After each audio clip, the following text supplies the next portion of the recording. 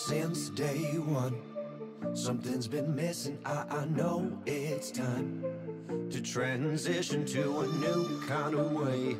And Bonjour à tous, ici Dingodorwan. Aujourd'hui, je vais vous présenter un capteur connecté qui est Bluetooth, hein, qui fonctionne en Bluetooth, il n'est pas Wi-Fi. Il est étanche, IP67. Il possède donc un capteur de température, un capteur d'humidité, un gyroscope, détecteur de mouvement, hein, plutôt de déplacement, on va dire. Hein, si on le manipule, etc., il sait qu'on l'a bougé de place. Et un détecteur de pression atmosphérique. Donc, avant de vous en dire plus, hein, je vais on va procéder comme d'habitude au déballage et on va voir ensemble les caractéristiques et on va regarder un peu l'application, comment se passe la connexion. Procédons au déballage. Donc moi j'ai reçu ça dans une euh, enveloppe, je ne sais pas si vous allez recevoir ça comme ça. Donc une petite enveloppe neutre, hein, sympa. Euh, donc mesurez votre monde. Ok, on va voir ce qu'il y a dedans. Donc, on a le capteur ici. On a des petits goodies. Je ne sais pas si vous allez recevoir ça euh, comme ça. Moi, j'ai reçu euh, donc trois capteurs et j'ai reçu aussi le support pour euh, fixer au mur. On va regarder ça par la suite. Mais je sais que c'est des articles support pour fixer au mur. Ils le vendent séparément sur leur site puisque ce capteur-là, on va le trouver que sur le site de chez euh, Donc je vais, bien sûr, le lien est en description. Qu'est-ce qu'ils nous disent ici? Donc ils nous mettent euh, weatherproof, hein, donc c'est euh, imperméable, étanche, hein, donc le capteur sera étanche. On, peut le mettre à l'extérieur sans problème, donc il résiste à la pluie, tout ça, à l'humidité. On peut le plonger dans l'eau, il est IP67. On pourra le plonger dans l'eau, mais sur de très courtes durées. Hein. Donc c'est pas si vous si vous le laissez euh, trop longtemps dans l'eau. Euh, Rouvi m'a dit c'est maximum 30 minutes dans un mètre d'eau. Euh, si vous voulez le mettre plus longtemps dans l'eau, euh, il faudra le rendre étanche, donc mettre du scotch sur la partie où ça s'ouvre, ou le mettre tout simplement dans un sac étanche, par exemple un sac comme ça ou de congélation. Et là, vous pouvez le laisser dans l'eau sans problème. Qu'est-ce qu'on a derrière Qui nous disent euh, Rouvitag est un sensor, hein, donc un capteur Bluetooth, euh, qui mesure la température, qui mesure l'humidité, qui mesure la pression, donc la pression atmosphérique, et également euh, les mouvements. Donc un détecteur pas de mouvement classique, hein, il n'y a pas de, de, détecteur infrarouge et tout ça comme vous parce que je sais si je dis détecteur de mouvement, certains vont me dire, euh, voilà, c'est un détecteur plutôt de déplacement. Donc dès si on le lève comme ça, on va recevoir une alerte sur son téléphone comme quoi le détecteur a été déplacé. Le détecteur a eu un mouvement. Movie Station, donc c'est l'application euh, mobile, hein, l'application mobile euh, qu'on va voir ensemble par la suite, qui nous dit ici qu'il est bien donc imperméable, donc résistant, donc étanche. La durée de la batterie, plus de deux ans. Donc ça dépendra de l'utilisation, l'endroit où vous mettez, etc. Donc euh, Rouvi m'a dit euh, ça peut aller même, ils ils l'ont pas mis, mais euh, on peut aller euh, si on l'utilise très très peu, on utilise vraiment très très peu son téléphone, on peut tenir même 10 ans. Donc après ça dépend les différents paramètres. Hein. Donc sinon en général c'est 2 ans voire 3 ans. On a une pile, on va voir ensemble, une pile un peu spéciale à l'intérieur qui n'est pas excessivement chère si on doit la remplacer. Wide Operating Temperature, donc euh, donc des mesures de température larges. Ça doit être parce que il, va dans des fortes et des basses températures.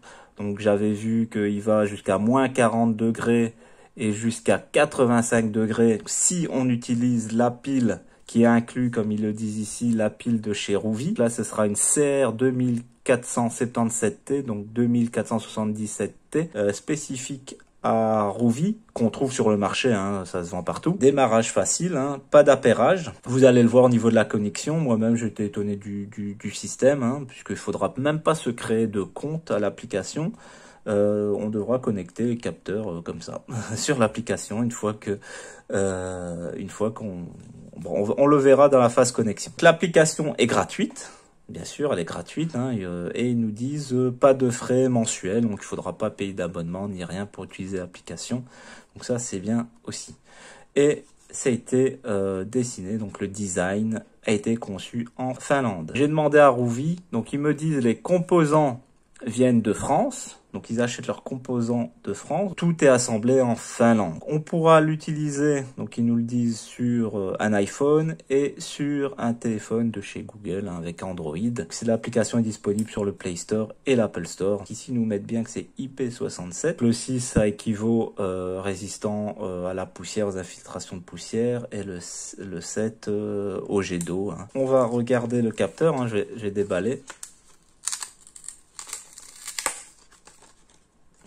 On a le capteur, donc c'est juste un simple, une simple colle qui est mis dessus, donc c'est pas très difficile à enlever. Qu'est-ce qu'ils nous mettent ici? Salut l'ami, nous espérons que le Rouvitag, euh, vous allez prendre du plaisir avec le Rouvitag. Donc on a juste une petite languette ici euh, pour la pile, donc pour que le capteur se mette en fonctionnement. Donc on va ouvrir. Voilà. Et là, on a directement la pile. Je sais pas si on peut enlever le capteur. qu'il est. Euh, Donc c'est juste une languette, hein, vous avez vu ici. Je sais pas si on peut enlever le capteur. Comme ça, je peux vous montrer la pile. Voilà.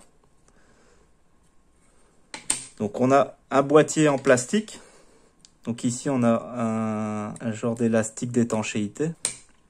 Ici, on a la fameuse pile de chez Rouvi, donc CR 2477-2477. Donc une pile de 3 volts. Voilà. On va enlever la petite languette. Hein. Vous n'êtes pas obligé de l'ouvrir, hein. il ne faut pas l'ouvrir. Hein. Je, je, vais vous montrer. Je vais vous montrer comme ça si vous recevez, vous n'êtes pas obligé de l'ouvrir, hein. vous pouvez tirer comme ça, hop, il y a une lampe qui s'est allumée, ça va clignoter, je ne sais pas si vous le voyez correctement, voilà, ça clignote, donc il est prêt à la connexion, vous allez voir la connexion euh, se fera très très simplement, donc je vous le rappelle, il n'y a pas de compte à créer ni rien. on a le capteur et vous avez le support du capteur. On va regarder un petit peu le support. Donc ils nous fournissent donc deux vis, voilà, et un système en silicone. Donc il y en a qui vont aimer, il y en a qui vont pas aimer, et on peut, voilà. Donc le le capteur comme ça, il est bien, il est bien protégé. Donc c'est sympa, mais euh, le support, je vous le rappelle, euh, ils le vendent à part, je pense 4,50€ quand même, pour euh, le support en silicone. Yeah. Allez, procédons à la connexion, vous allez voir, c'est très très simple. vous téléchargez l'application Rovi Station, qui se trouve sur le Play Store ou l'Apple Store. Une fois téléchargé, bah, il n'y a plus qu'à la, à la démarrer. Hein. À démarrer, moi, était déjà démarré.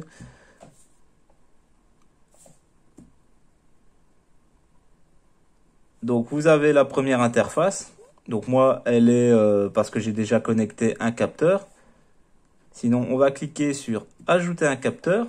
Et là, il a trouvé euh, le, capteur ici directement. Il faut rien faire. Hein. Bien sûr, activer le Bluetooth de votre téléphone s'il n'est jamais activé. Donc, activez votre Bluetooth du téléphone. On va cliquer ici. Donc là, directement, on peut modifier le nom du capteur. Donc là, je vais mettre, euh, je vais euh, donc extérieur. Je vais mettre dingo extérieur. voilà. je vais mettre OK et là le nom se change directement. Donc vous pouvez utiliser plusieurs téléphones en même temps, hein, même si vous n'avez pas de compte, et vous pouvez faire plusieurs réglages différents selon le téléphone que vous utilisez. Regardons un peu les paramètres de l'application. L'application s'appelle Rovi Station. Donc euh, téléchargeable sur Play Store, l'Apple Store, hein, c'est compatible. Donc il faut activer bien sûr votre Bluetooth pour accéder au capteur. Je vous ai montré lors de la connexion comment rajouter euh, un capteur. Hein, C'était très simple. Donc le capteur est tout de suite reconnu. Il faut aller rien faire du tout euh, pour l'ajouter. Il faut pas créer de compte sur l'application Rovistation, rien du tout. Donc tout se fait vraiment automatiquement et simplement. Donc on va cliquer déjà tout en haut à gauche, ici sur les trois petits points. Là on peut rajouter un capteur, euh, faire des réglages, euh, info et aide. Donc si vous avez besoin euh, des infos et aide, on peut, on peut cliquer. Ici il nous donne les sites, les forums, les blogs et tout ça. Donc c'est encore une communauté ben, anglaise. Hein. Connaître un peu l'anglais, mais bon, avec Google Traduction et tout ça, normalement vous n'allez pas avoir de problème, même si la communauté Rovi va commencer à grandir ben, en France et tout ça. Hein. Vous pouvez donner votre avis. Donc si vous pouvez ben, envoyer un email, donc il faut envoyer un email si vous voulez donner votre avis. Et vous pouvez aussi accéder à leur boutique.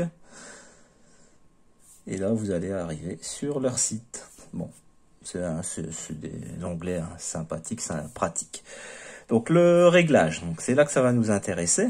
Donc là, on peut faire le réglage du balayage. Donc c'est euh, la mise à jour euh, du capteur pour l'affichage du capteur, hein, pour voir la température. Euh, moi, j'ai mis ici, bon, sur 17 secondes.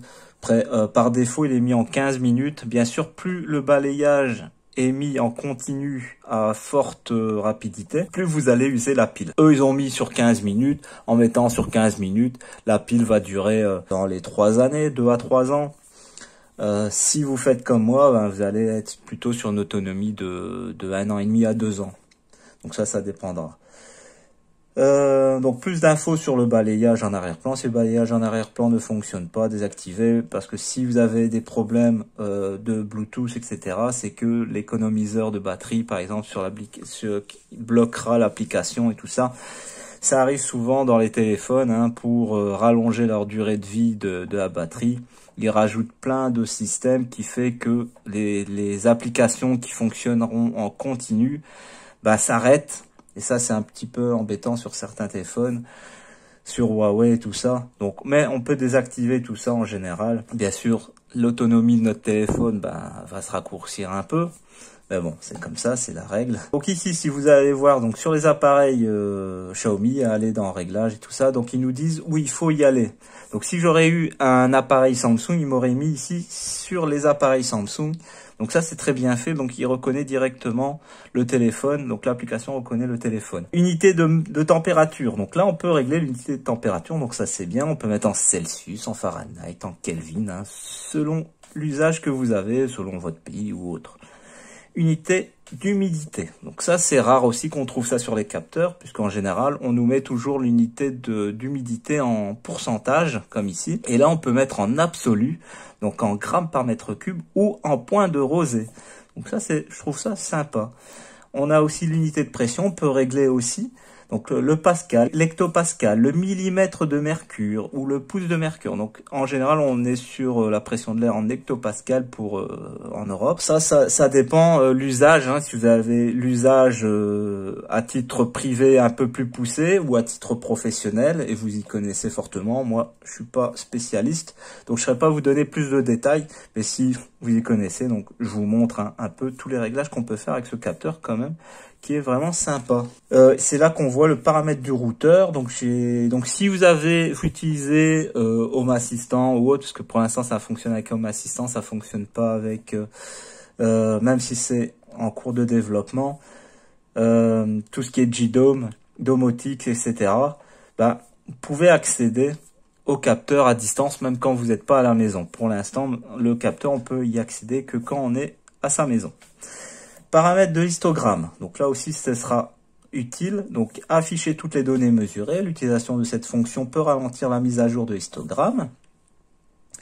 Donc si je désactive ici, je pourrais modifier l'histogramme donc euh, la précision de l'histogramme. Que définir l'intervalle de histogramme de 1 à 60. Donc un intervalle plus faible permet une analyse plus précise mais utilise davantage les ressources de votre appareil. Si je, je les laisse activer ces, les mesures ici euh, plus, précises, euh, je peux plus ici modifier. Donc si vous savez pas modifier, ben c'est il faut désactiver tout simplement ici, vous modifiez et après vous pouvez le réactiver si vous le voulez. Moi je laisse sur une minute.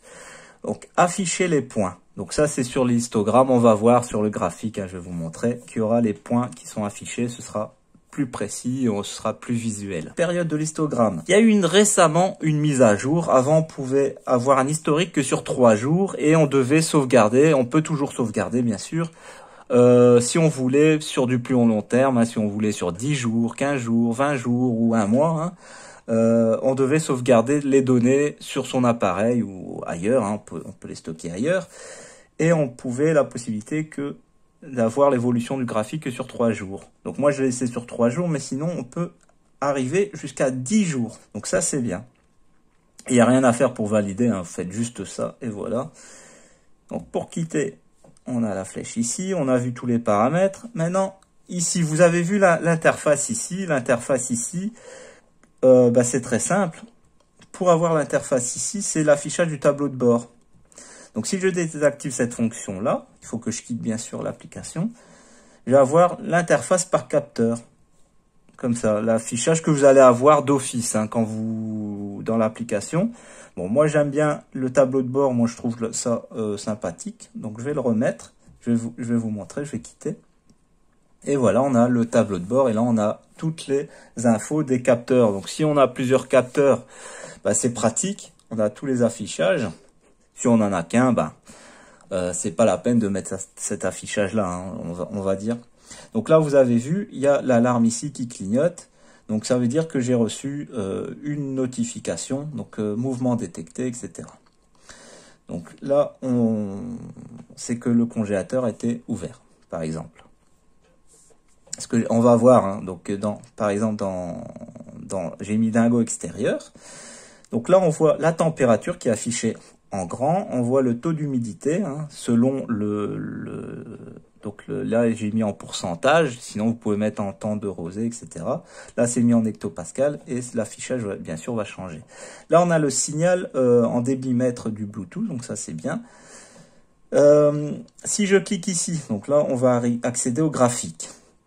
Et là on a le graphique donc du 6 du 4 au 9 du 4 selon euh, le réglage que vous avez fait en, nombre de jours. Hein. On peut voir le graphique, puisque moi j'ai tout, j'ai mis l'affichage euh, multiple. Donc euh, température, humidité de l'air et pression de l'air. Donc on peut voir l'évolution. On peut faire une synchronisation avec le capteur. On peut effacer les données si on le souhaite. Donc tout est l'interface vraiment est, simple. Hein. donc vraiment, euh, on passe de affichage graphique à affichage normal très très simplement. Donc il y a une petite roue édentée, on peut faire encore des réglages. Donc là, on peut modifier le fond d'écran. Donc si par exemple, je veux mettre un fond d'écran personnalisé, j'avais mis un fond d'écran personnalisé, je vais vous montrer. Donc sinon, euh, ils ont prévu des fonds d'écran différents. Hein. Si vous avez plusieurs capteurs, vous pouvez modifier le fond d'écran ou euh, voilà, ils ont mis des fonds d'écran sympathiques. Donc si je veux mettre mon propre fond d'écran, on clique ici. Là, vous avez, soit vous faites une photo instantanée, soit vous accédez à votre galerie. Si vous avez déjà fait une photo ou sélectionnez une photo qui est sur votre téléphone, vous pouvez le faire. Donc par exemple, moi, je sélectionne une photo que j'ai fait euh, de mon jardin hein, pour euh, l'extérieur de, ma maison, ben je, je, peux le faire et ça se fait très simplement. On peut modifier le nom du capteur, donc moi j'ai mis dingo extérieur, mais sinon je peux mettre autre chose si je le souhaite. Voilà, c'est très simple à, modifier, à changer. Les notifications, moi j'ai activé que les notifications de mouvement pour ici. Euh, je peux mettre une notification de température si je le souhaite. Hein. Par exemple, dire s'il fait plus de, de 30 degrés à l'extérieur de m'alerter. Euh, ici, il fait plus de moins 20 de m'alerter aussi. Donc, de recevoir euh, une notification, par exemple. Donc, moi, c'est désactivé ici. Pour l'instant, j'ai pas pour l'instant l'utilité. chez soi, c'est toujours bien si on a une serre ou autre. Ça peut être utile. Moi, je dis, euh, c'est vraiment, c'est fait pour tout le monde le capteur, du plus simple au celui qui va utiliser vraiment euh, bien toutes les capacités de ce capteur. Puissance du signal, donc euh, on peut, je peux être alerté aussi de la puissance du signal si je le souhaite, entre moins 5 et, 0. Pour la pression de l'air, on est entre 300 et 1100 et l'humidité, donc entre 0 et 70, 70. Voilà. Pour désactiver, c'est simple, on clique ici. Moi, j'ai laissé le mouvement, donc il n'y a rien de, spécial pour le mouvement. On peut modifier la description si je le souhaite. Hein. Là, ils, mettent notifié quand le capteur est déplacé. Je peux, je peux mettre autre chose si je le souhaite. Donc après, on a les informations du capteur, on a euh, les accélérations, donc le gyroscope. Hein. il y a un gyroscope trois axes, la pile, tension de la pile. Euh, après, il y a tout plein de choses. On peut calibrer l'hygromètre. Euh, donc oui, et ici, on peut sauvegarder donc les données, c'est en fichier .csv. Donc si on souhaite envoyer et sauvegarder les données. Donc on a fait le tour euh, de l'application, vous avez vu vraiment que c'est vraiment très très simple. L'interface est sympa, elle est jolie. Allez, faisons un petit comparatif avec d'autres capteurs. J'ai pris un capteur Bluetooth de chez Xiaomi, un capteur Wi-Fi de chez Blitzwolf qui fonctionne avec la domotique Tuya et un, le capteur de chez Rouvi qu'on voit ici. Chez Rouvi, euh, on a euh, un taux de température à 21,72, 21,72. Chez Xiaomi, on est à 22 degrés et chez Blitzos, on est à 22 donc il y aura toujours un écart euh, de moins 0,5. Donc euh, on est à 21,7, 22, donc euh, on est plus ou moins à la bonne température pour chaque capteur. Le boîtier fait que, le boîtier étanche du Rouvi fait que les, taux bah, seront un peu plus moins sensibles que les autres capteurs. On va le voir directement avec le taux d'humidité. Euh, donc chez Rouvi, on aura un taux d'humidité ici à 48,95, donc 49, alors qu'ici euh, on est à 58,8 et chez Xiaomi on est à 64. Donc là, la marge est, est, quand même un peu grande, de 49 à 60, on a quand même une marge. Mais c'est le boîtier qui veut ça. Donc euh, normalement, si je veux plus de précision au niveau de l'humidité, il faudrait que j'enlève le, boîtier. Parce que l'étanchéité, je pense que ça joue quand même beaucoup, même s'il y a la membrane ici qui fait que le, taux euh, sera euh, un peu moins précis. Allez, passons à mon test d'étanchéité. Donc je vous le rappelle, hein, je fais ça pour le test. Euh, c'est pour la pluie, hein, il est résistant à la pluie et tout ça. Bien sûr, dans, dans, dans 99% des cas, 99% des cas, vous n'allez pas le plonger dans l'eau. Si vous vraiment vous voulez le tester, plonger dans l'eau ou vous avez besoin pour votre activité ou autre, euh, je sais pas, pour mesurer la température euh, d'un aquarium ou je sais pas, vous pouvez utiliser donc vous pouvez utiliser un sac plastique. Voilà, je vous le rappelle, hein, le taux d'humidité dans de l'eau, euh, me posez pas la question. Hein. Un sac plastique ou euh, il conseille aussi de mettre du scotch ici euh, si vous voulez vraiment le plonger plus profond et sur du long terme. Sinon, pour moi, la solution vraiment c'est le, petit sac plastique. Allez, on va plonger le petit capteur dans l'eau. Pour l'instant, il a 20 degrés 79, 79 et, et le taux d'humidité 47-44 après qu'on l'a plongé dans l'eau, je vais l'ouvrir pour voir. Donc on va le sécher et je vais l'ouvrir pour voir s'il n'y a pas de l'eau qui est rentrée quand même dedans. Donc ça, on va regarder ça ensemble.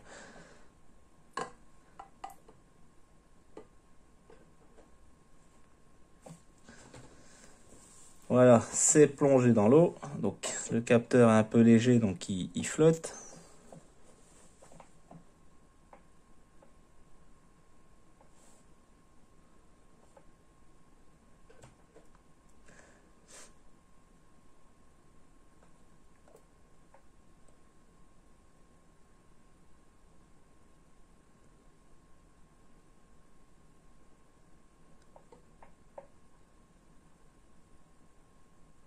Là, la température, elle baisse, c'est normal un petit peu. Et le taux d'humidité, il augmente.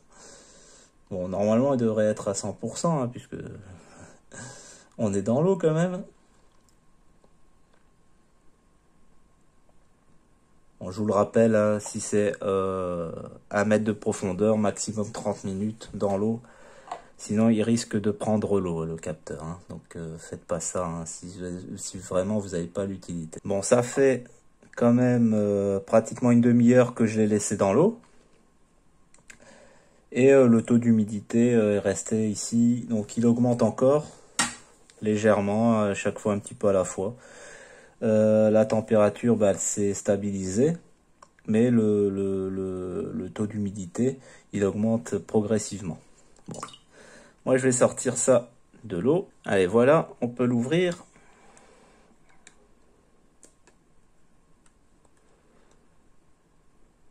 Donc à part une petite goutte là, ici c'est normal sur l'extrémité puisque c'est des gouttes d'eau qui vient de là.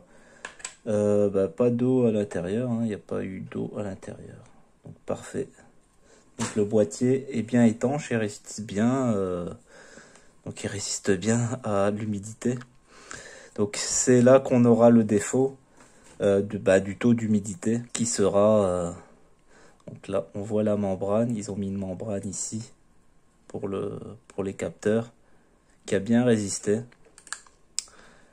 Et, c'est là que le, taux d'humidité sera un peu euh, plus long à être plus précis euh, que les autres capteurs où euh, bah, ils sont ouverts les capteurs, donc euh, le taux d'humidité va tout de suite changer. Il y a un compromis à avoir entre l'étanchéité et le taux d'humidité.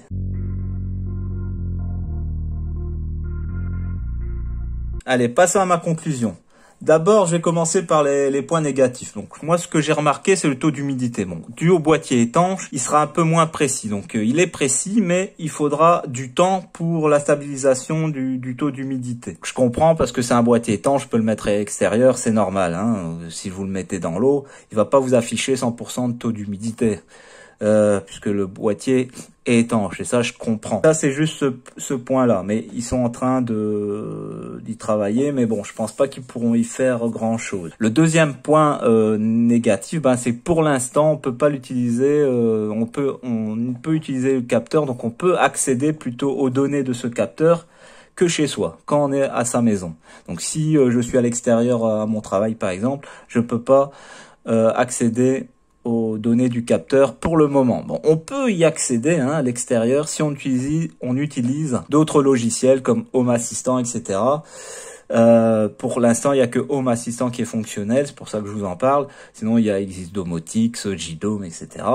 qui sont en cours de, développement. On peut pas l'utiliser pour l'instant euh, ce capteur avec Amazon, l'assistant Amazon Alexa ou euh, Google pour l'instant. Mais sinon, dans l'évolution future, ce sera possible. Rovi travaille sur euh, une passerelle et là, on pourra accéder au, capteur de température et d'humidité et tout ça à l'extérieur. Ça, c'est Rovi y travaille. Donc, euh, pour le mois de juillet, on aura la passerelle. Faudra voir à quel prix aussi. Je leur demanderai, hein, je reste en contact avec eux, qui me donneront euh, les infos au fur et à mesure de leur évolution et je leur demanderai aussi. Après, dans la technologie, donc vous le savez, hein, ce que je peux vous dire aujourd'hui, c'est ce qui s'est passé par exemple avec le, le, le Mi Band 4. Dans, dans tout ce qui est technologie, il y a des mises à jour pour les sociétés qui suivent leurs produits, il y a souvent des mises à jour. Et euh, donc les défauts du Mi Band 4 que je vous avais dit dans ma vidéo bah, ont été corrigés par la suite grâce aux mises à jour. L'application est en constante évolution, leur système est en constante évolution,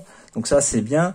Donc euh, il y a des choses qui vont arriver. Euh, ils comptent aussi sur la communauté, donc euh, GDOM, Domotix, tout ça, pour développer pour eux bah, tout ce qui est plugin, tout ce qui est fonctionnel, hein, dans Alexa, les skills et tout ça. Ça va se développer un peu à la fois, comme tout, comme Xiaomi, un Xiaomi, la communauté a grandi un peu à la fois, donc ils vont compter aussi un peu sur leur communauté, parce qu'ils ne savent pas tout faire non plus tout seuls, même s'ils y participent, ils vont pas savoir faire eux-mêmes tout seuls. Bon, c'est ce que je pense d'après moi. Hein. Après, moi j'ai bien aimé l'interface. Donc l'interface vraiment de l'application, la rapidité de connexion, vraiment très très simple. Donc euh, il faut vraiment euh, pas faire grand chose au niveau de connexion. Faut pas créer de compte ni rien. Euh, vraiment euh, tout ce qui est pourcentage au niveau euh, des capteurs, donc les différents donc réglages qu'on peut faire au niveau des unités de température et tout ça, donc les différentes unités selon le pays, selon l'utilisation qu'on va avoir, donc l'humidité, on peut mettre en point de rosée et tout ça. Donc pour ceux qui s'y connaissent et tout, ils, vont ils vont aimer tout ça. On peut utiliser dans plein de domaines à titre privé que professionnel, comme moi ici je l'ai mis dans mon congélateur. Bah j'ai bien aimé le petit euh, côté euh, capteur euh, de mouvement. Hein. Il y a un gyroscope 3, gyroscope 3 axes, hein, je vous le rappelle. Bah j'ouvre la porte, je peux savoir quand on a ouvert la porte. Et ça, je trouve ça sympa. Le taux de température du congélateur, peux savoir si euh, la température, euh, parce qu'en général ça manque sur les congélateurs. On sait pas trop la température du congélateur à l'intérieur. Euh, Peut-être je mets, on met trop, on met trop la température trop froide, pas assez froide. Euh, il y a des réglages qu'on peut faire et, et, aussi faire des économies. Par exemple, mon congélateur est toujours à peu près dans les moins 20 degrés. Bon, c'est bien. Euh, S'il y a une décongélation, par exemple, euh, allez, en général, les, congélateurs, ils gardent. Hein, en général, il faut vraiment, vraiment une grosse coupure, grosse panne d'électricité pour qu'on ait des problèmes de décongélation en général. Hein. Mais bon, ça c'est autre chose. Donc on peut utiliser dans plein de domaines. Donc ça c'est vraiment c'est ce que j'ai aimé. Le petit point négatif aussi c'est au niveau de la pile. Donc c'est pas une pile très commune, mais on, les trouve quand même assez facilement. Le prix il coûte entre 5 euros et 10 euros, hein, ça dépend de la qualité qu'on va mettre. Euh, la qualité est importante de la pile aussi. Donc là ils disent que si on n'utilise pas une pile de, que eux ils ont développé, donc la pile Rouvi, ben on va perdre en, usage, en qualité, hein, au niveau de la température par exemple, au niveau de fonctionnement. On pourra l'utiliser que de moins 20 à, à 70 degrés au niveau résistance la pile hein, qui résiste. Si on utilise une pile euh, standard, et si on utilise leur pile, on pourra résister de moins 40 à euh, moins 85, à plus de 85 degrés. Ça c'est un petit bémol aussi. Euh, surtout que pour l'instant ils ils ne vendent pas leurs piles euh, bah, des batteries c'est un peu compliqué à envoyer tout ça ça coûte quand même très très cher à envoyer euh, au niveau des transporteurs. Hein. il y a des sécurités et tout. Les transporteurs n'aiment plus prendre trop les batteries et tout ça. Mais bon, c'est comme ça. Je pense que tout est dit sur ce capteur. Hein. Une application fonctionnelle, plein de réglages possibles, euh, régler les notifications comme on le souhaite. Ça, j'ai trouvé ça sympa. Donc, si vous avez encore des questions, n'hésitez pas à me contacter. Euh, je vous réponds à toutes les questions, n'hésitez pas. Euh, vous avez accès à l'article hein, pour avoir toutes les caractéristiques de ce capteur en bas de la description hein, sur mon site, hein, sur mon blog d'Ingodor One Tech. N'hésitez pas à aller le voir et vous abonner aussi à, mon site, hein, mon blog. Euh, c'est tout est gratuit. Je possède aussi une application. N'hésitez pas à la télécharger si vous voulez me communiquer avec moi plus facilement. Tout est fait en sorte pour que vous puissiez me contacter assez facilement, que je vous réponde le plus vite possible. Comme d'habitude, je remercie les anciens d'avoir regardé et les nouveaux de vous abonner. Un grand merci à vous. Moi, je vous dis à la semaine prochaine. C'était Dingo going wrong. I feel your clutch pulling me through. I try not to rush to impress you now, but no. Go hard, but no. Let's pop, but no. What am I doing wrong now? But no. Go hard, but no. Let's pop.